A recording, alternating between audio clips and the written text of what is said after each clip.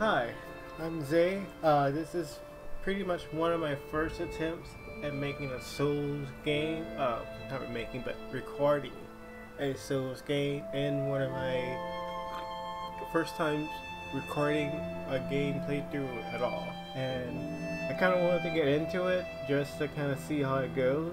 And I guess I do like playing games, so I figured I may as well, you know, record me playing. My goal for this is not really for it to be something that takes off, like how some guys do do this for a living. My goal for this is just pretty much to have fun, and if it's something that a lot of people like, that's fine. If it's something that nobody likes, that's fine. I ask mainly for me just to have fun and just for people to watch along as I play the game. Um, as you see, it says continue. Um, mistakenly, I started recording and I thought that everything was good. I thought that when I record, everything's gonna sync up well. I thought because I recorded on a different game that, oh, this is gonna be perfect. Nope, my video was messed up. It was kind of blurry, and the audio didn't sync up, and it was pretty much crap. So, uh, after a while of testing and making sure everything was synced up, I finally got it right to where it seems pretty good. Uh, I'm gonna do another video recording and then uh, I'll ask you guys that everything looked good on your end, that the audio was good, and if everybody says it's good, then uh, I'll keep continuing with that. But for the most part, the uh, sync of the audio in the game matches, so and the sync of my voice matches. So only thing I need to work on really is the audio levels. So if you guys say that's good, then that part would be good for me. If that, and then if not, I'll test it a little bit more. And that's the reason why pretty much it says continue is because uh, I recorded the game without uh, what you call it testing first. And so I'm going to load this game up to kind of give you a rough idea of where I'm at. And then I'm going to start a whole new game. So I'm right here at the village. And so I'm going to pretty much start a whole new game to get back to there. So if I say, or it feels like, oh, I know where everything's at, well, why, because I already played that part. But this it was still my first time playing this game. It's just just as far as I have gotten, and so yeah. Without further ado, I'm gonna start the game and act like I have not played.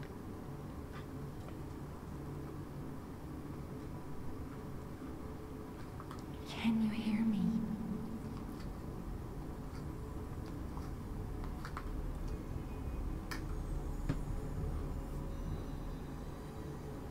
Geppetto's puppet. We need your help.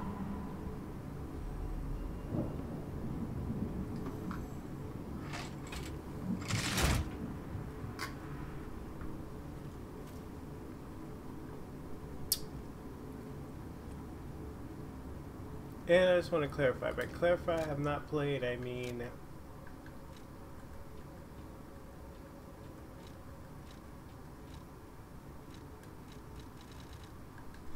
I mean, as far as skipping cutscenes and things like that, and talking. Ah, there you are. I've been looking all over for you. I am not that good of an actor to, you know, like act that surprise when an enemy pops out or something like that.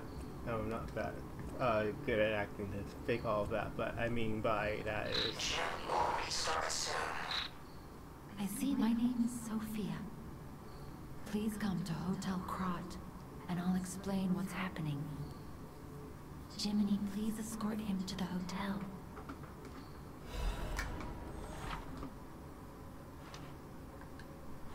By that I mean, since this is my first playthrough of the game, I won't skip the cutscenes or anything Let's like get that. you out of there. Find something that might help.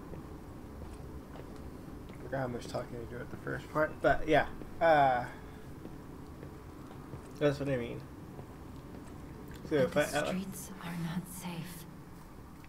Arm yourself with what it'll be helpful on your way to the hotel. Uh, went for uh, I'm going for a balance build. Destination Hotel Krat. Recommend escaping from this location.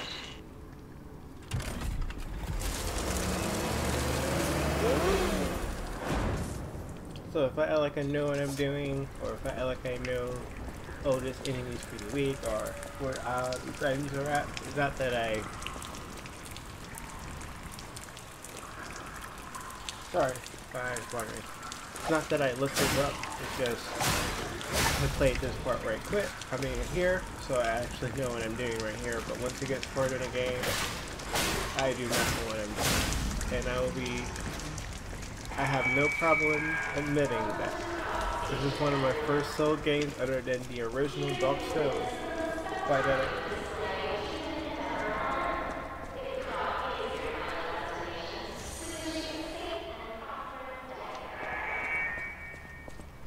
But that I mean Dark Souls 1 is the only game I kind of play. Dark Souls 2, I only played really the beginning. And I never played Dark Souls 3. I have Elden Ring too, and I haven't even played that yet. Mainly due to storage issues, because how much the game, how much space the game takes up, so I haven't played it. So this is my playthrough first playthrough of a Dark Souls game that I plan on beating. I don't know how far I will get, but this is one that I plan on beating.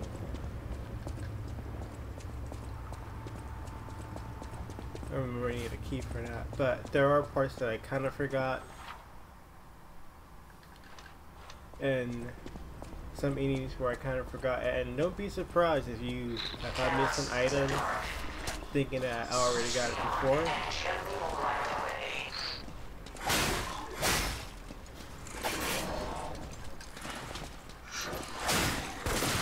Oh my god. Bro. This lock on sometimes is more annoying than it really is because it locks on to other enemies and I'm like, I'm not fighting here. Uh, anyway. Um. If so, is that like I know where all the items are at? It's just because those are the ones I remember, but I may forget an item thinking I got it because of this, my other playthrough. Or like this, where I kind of um, do know where it's at because I went through here before. But yeah, until I get to the village, I kind of know what's going to happen. I know everything, but it doesn't mean I won't die, and it doesn't mean I'm like super skillful at this game. Nine times out of ten, I probably forgot some of this stuff, and I probably fall for some of the same crap that I would that I did when I first played the game. Well, first, yeah, when I first when I first played the game.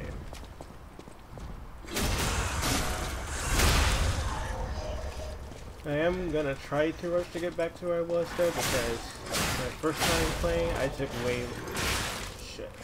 And right there my prime example of. I'm probably still gonna fall for some of the same crap. Uh, but when I first played this, I probably took way longer than I should have to get to where I was. Um, I may have had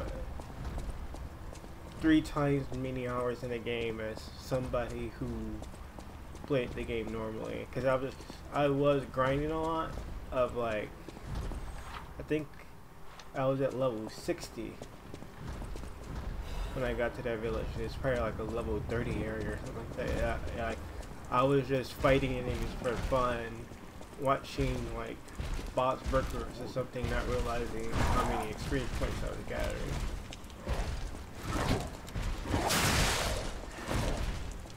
But for anyone who shift, let's open the door. But for anyone who is playing uh, I would say do not regretting. Do not regret. Uh, shit. Okay. You know? Screw this shit. Okay, we'll kill him like I did the last time.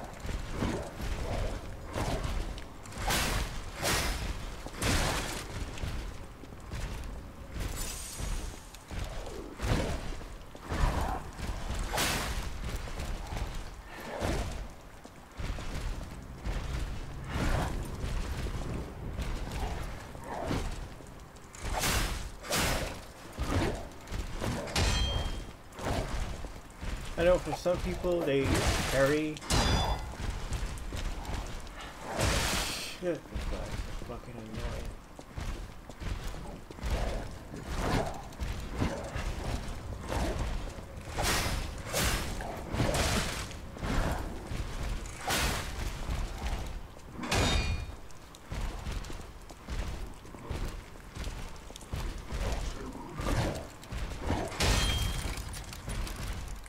Answer this question, I was thinking in the back of my head, can I die even on block? And yes, you can. I thought maybe it was one of those games that just takes your life down to like 1%, and so you technically die on the next hit, but you're still alive. But I can't know, they, it, it does kill you. But yeah, that's what I mean by I am really still a rookie at this. I'll take this part up to this part, but don't take that as to mean that I know what I'm doing.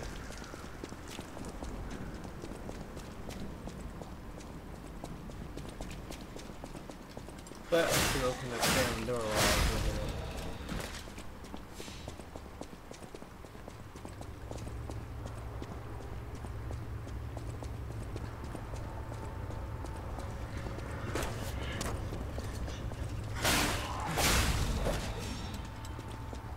Kind of upset that I have to start a new game, but I told you I was too powerful for where I was at.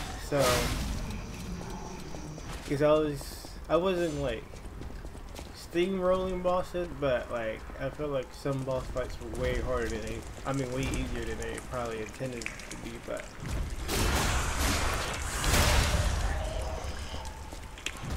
that first boss for me, that puppet master, whatever the hell he was, was way was a lot of bullshit to me.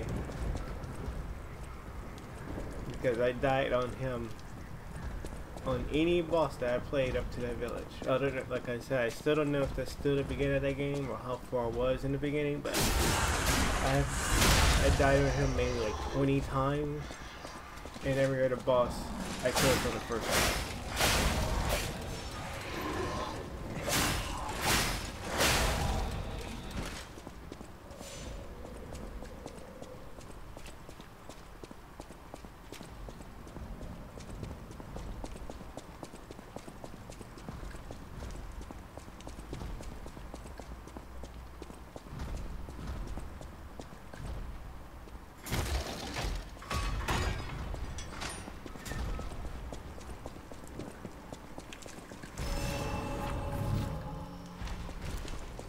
It tells me I can recover my stuff after I'm already dead. That's what I need to do.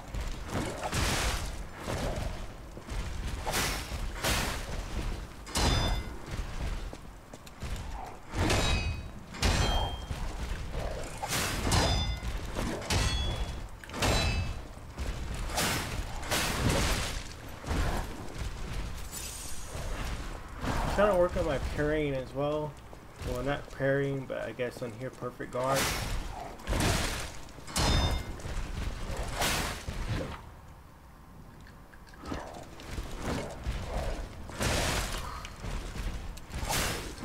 Oh yeah. Fuck, I still have to stagger him a little bit more, I forgot. Oh my god, this piece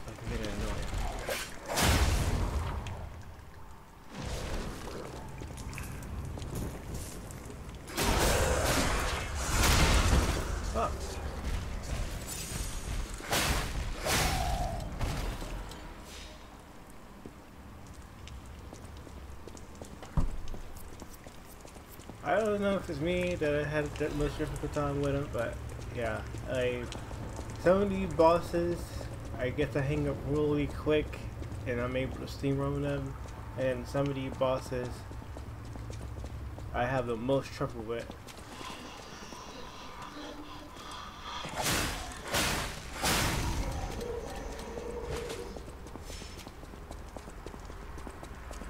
But either way, he's dead now, and I am moving on.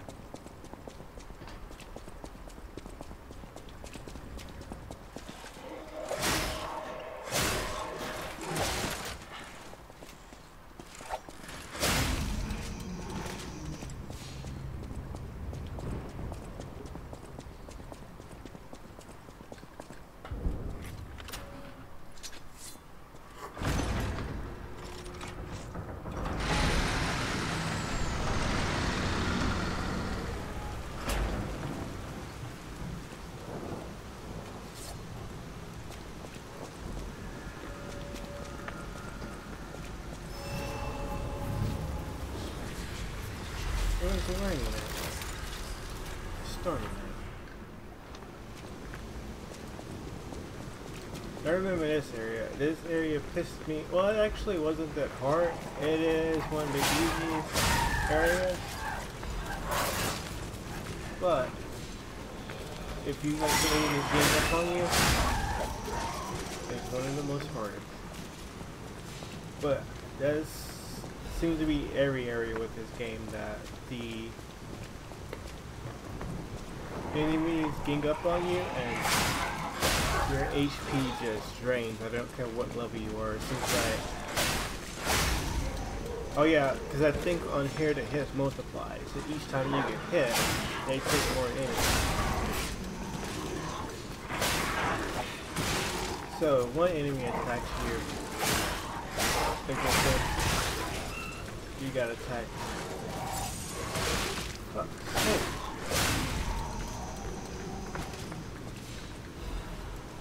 That auto lock seems to, like it. It seems auto lock is better for one enemy. Because it seems like it's multiple of them, it fucks you over more than anything else.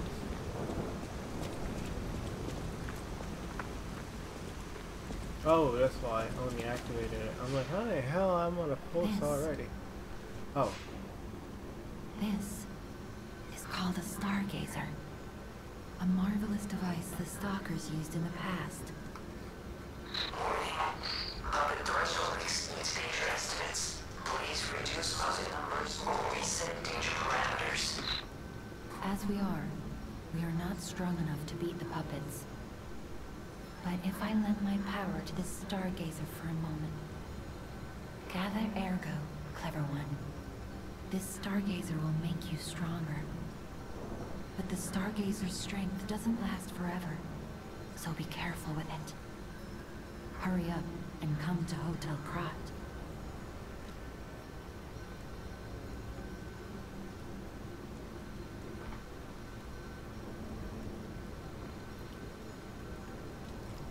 so with this one, I don't, I'm not sure.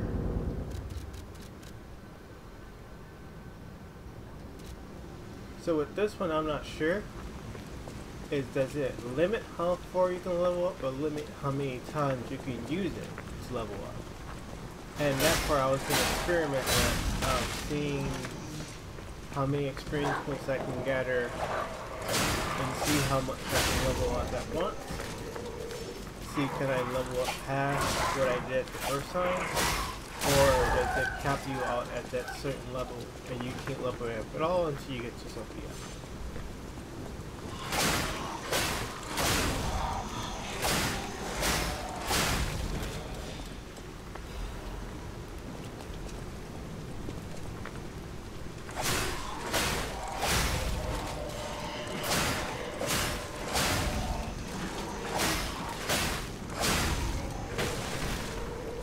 So for this playthrough, I was gonna go for an advanced build, just because, um, what you call it, that's what I was doing at first, before I started over. Uh, only thing I did unknowingly was I didn't know what mobility and I think, uh, what's the other? Mobility and whatever the other one is for weapons. I thought all of those had hand in hand together, and I didn't know advance was its own thing. And so now that I know advance is its own thing, I may upgrade mobility to 10 or whatever the other. I think mobility and technique. And I think mo mobility is for he heavy weapons and technique is for lightweight weapons. And I may upgrade both of them to level 10 just because right now that's the only weapon I have until I get the advanced weapon. And also too, I am not quite sure, maybe somebody can answer this for me, does that still help with advanced weapons as well? Because I'm thinking, even though it's an advanced weapon, doesn't it still need to be swung?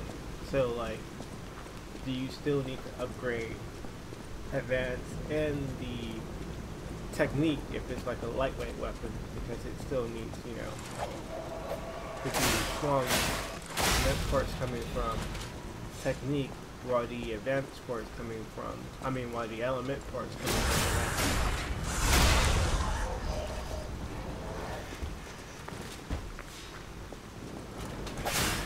advanced. technique, technique, technique.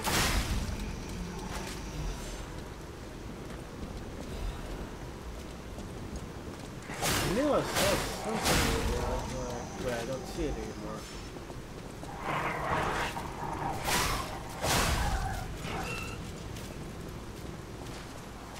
Oh, but for anyone wondering, because I knew somebody, I was reading about it, and I did see that some people said dodge were the dodge in this game sucks or it wasn't as good. To me, the dodge in this game is good uh, when you get the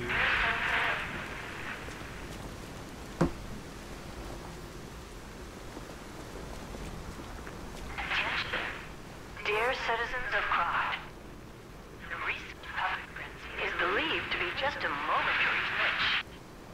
There is no cause for alarm. Do not panic, whatever you may hear. The city is safe to traverse. We repeat, do not be alarmed, citizens of Krat.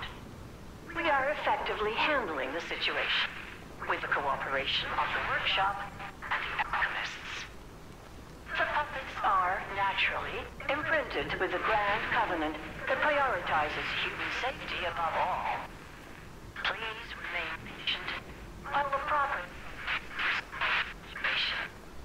Your active cooperation is requested and required.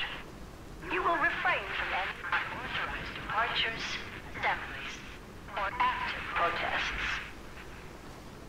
Never forget that your safety is of the utmost importance to your city. The time for fear is over. Krat is safe. Krat is safe.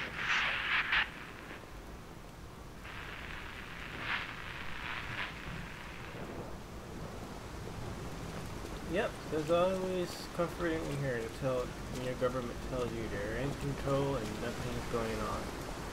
Especially when they tell you you can't even leave. That's how you know everything's in control. Obviously sarcasm. I think there was this I don't know if it's a quote, but I know some people say it, but no, this is that. If your government tells you everything is fine, it's time to worry. I forgot, and then it's like if your government tells you something, then you should be terrified.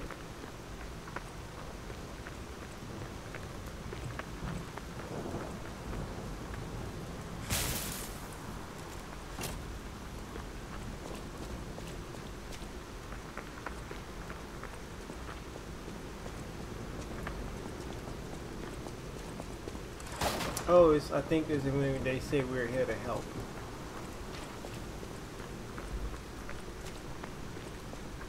And when somebody tells you, and when the government specifically tells you this area is safe, you have nothing to worry about, that's when you don't pass go, you don't get too much dollars, you just get the hell out of Dodge.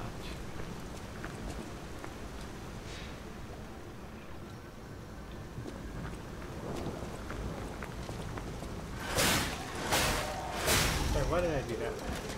Oh crap. Ah. I talking and forget what I was doing. I was just going through the motion. Um, trying to remember. I need to get to the other side of that door. trying to remember how to get to this part. Obviously, I need to go to that door, but I'm trying to remember. I think I have to go down here, and it's some kind of train conductor you can do. anything need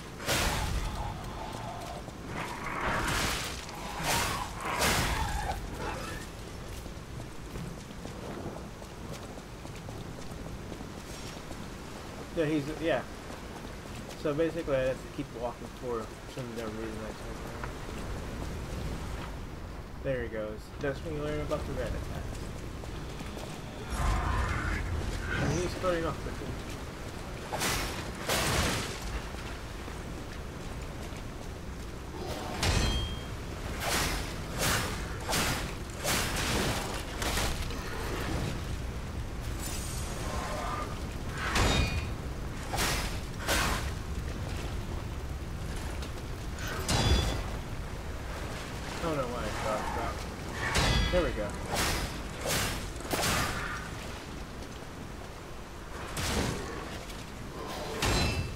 to practice a little bit of uh,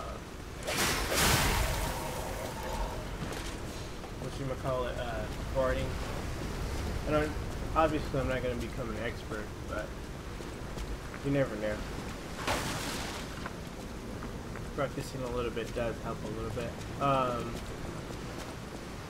main reason I. Destination Hotel Quiet. Optimal location for observing the destination.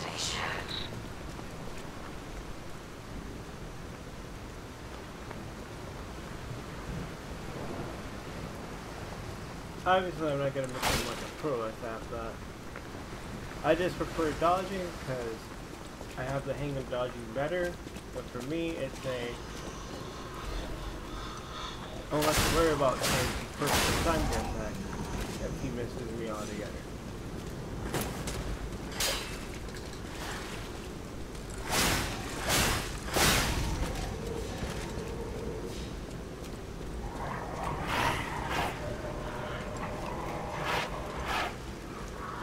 Is an ambush. So I see now. I to run in there, and attack the dog, are attack the side. And yeah, I feel like the auto guard just it's a it, it harms you when it's more than one enemy because took out the other two no problem not even getting hit. Have the auto lock on and take more damage. Or end up taking more damage with it on than with it off. Here's what I was looking for. Forgot what this was, so. Oh, repair tool. That's I was I have never used that and I've still been wondering what the hell that is. My biggest guess for that was that if you break your weapon, like my durability is going down, obviously I can use this and charge it up, but let's just say fighting the boss, get carried away and forget all about it. I wonder is that to repair the weapon, not to break it.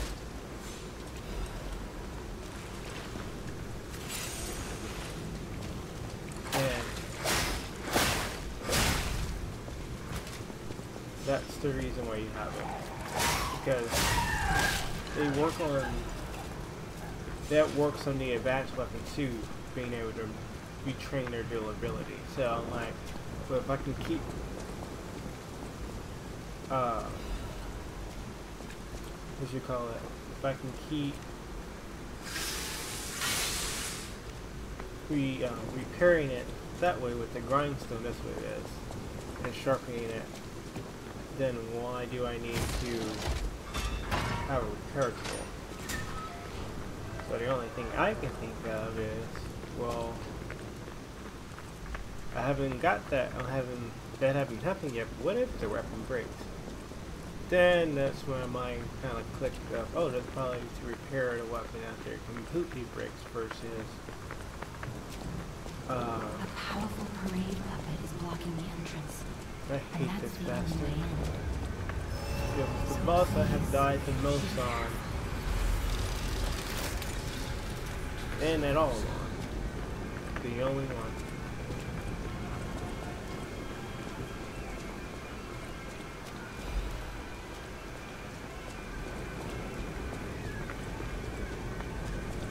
Well, I am for the.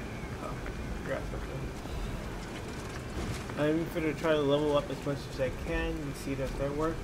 So I'm going to not necessarily. I'm going to end the video here, uh, pretty much, and then just kind of grind my way to level up to see how how many how how many is it levels up cap or just how many times you used it to level up. Like you level up to level 50, and you had enough experience points to do that.